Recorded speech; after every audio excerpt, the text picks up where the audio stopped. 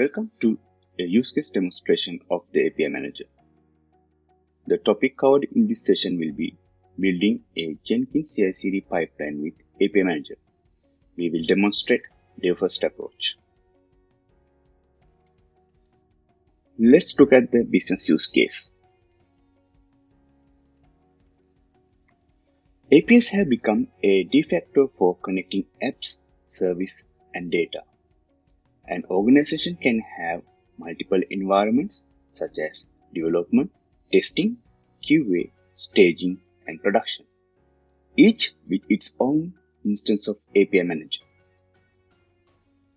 Therefore, the APIs need to be available in each environment after developers specify the required conditions. Manually promoting API between environments is a tedious, error-prone, and time-consuming task.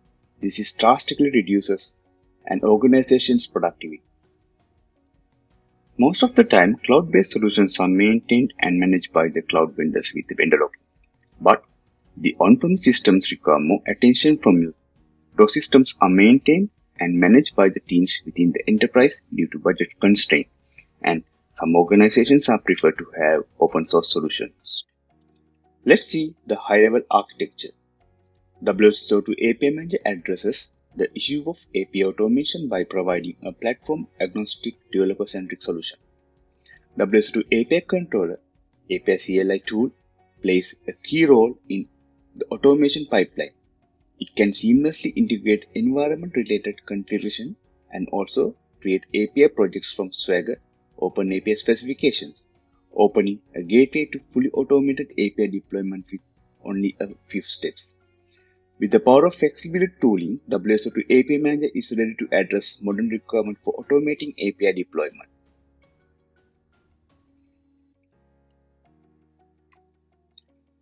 You need to install Jenkins from www.jenkins.io. You could use various forms of downloadable artifacts such as Docker instance, WAR archive, and list goes on. For this demo, I'm using a WAR archive.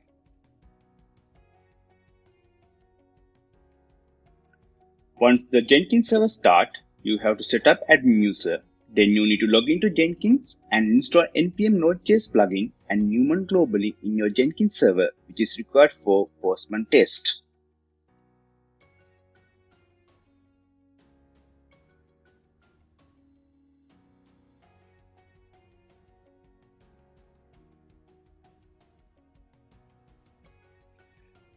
You need to download and set up WSO2 API Manager 3.2.0. For the demo, I am using dev environment with port offset 0 and prod environment with port offset port offset 1. Download and set up WSO2 API Controller 3.2.0 version to your Jenkins server and the developed machines.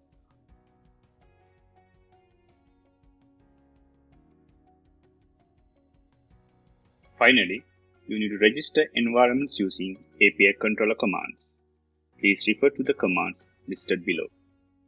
As depicted in the diagram, the overall experience of the developer first CI/CD approach as follows. First, write the open API specification and test script. Second, initialize an API project.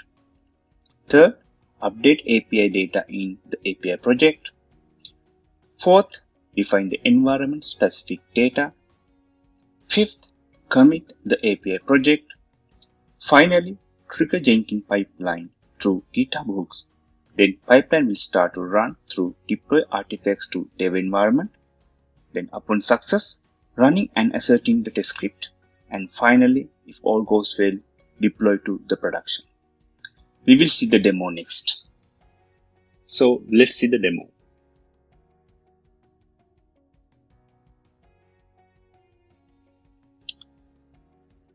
Top right, the backend is running, which is Spring Boot. Middle, where the API Manager a dev environment is running. Down right, the production instance is running. And if you look at the left side, where left side top, where the Jenkins WAR archive is running. and uh, top middle I'm using ngrok to expose the locally hosted Jenkins on a web because I won't use GitHub webhooks. This is the Swagger contract or OpenAPI specification I will use to generate the API. Now I'm going to open up API template. So you will see that this API template having the API context definition such as the API name, the context path, the available tiers, and the relevant information that is required for API publish. So now I will use following command to generate the API from the Open API specification. So where I will pass the API template context and the Open API definition and I will provide the API name and I will click enter. So you will see that the API will be initializing. Then I will commit the API to the Git. This is the project I have committed to the Git. I'm opening the API param YAML, which is define the environment specific variable. The YAML file basically used by the API controller during the API import process. Let's have a look at the Postman test script. This sample JS test script was written using Postman I have used API generated in previous section to design the test scenario. Our goal is to run the test script within the pipeline using Postman CLI collection runner known as Newman. Let's walk through the Jenkins pipeline. You will see that the pipeline has triggers, tools, environment, setup, and stages. Here I am setting up three stages. First, preparing the environment, such as pulling the artifacts from the GitHub, prepare UAT environment where I'm uploading the API artifacts using API CLI command. Next, it will run the test script. Then, if test is successful, deploy to the production. And then clean up the environment. After that, I'll be logging to Jenkins admin panel.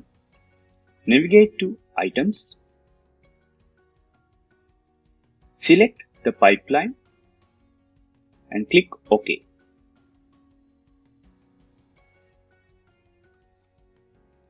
Then add description, scroll down and paste the script that you have prepared and save.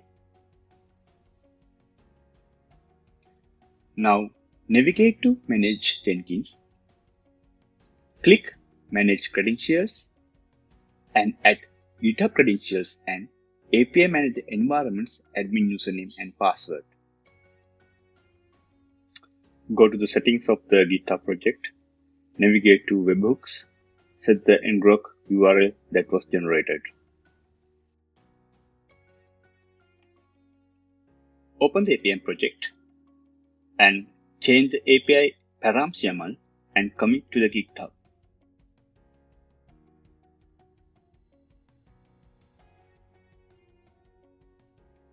Once the project commit, you will notice that the GitHub webhooks triggers the Jenkins pipeline.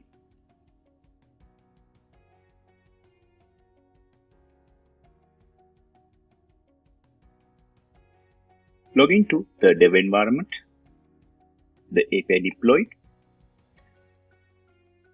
You will see that the environment specific parameters reflect under the API metadata.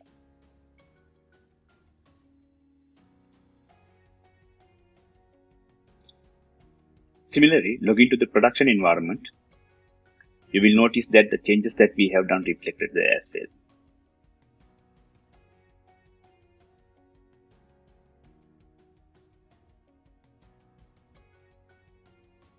Finally, let's summarize what it means to have CI/CD pipeline in your organization.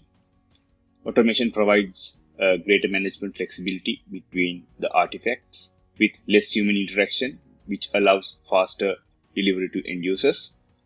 From management point of view, there's no vendor lock-in where you can design the workflows to your budget. Hope you have enjoyed the short demo. Happy learning.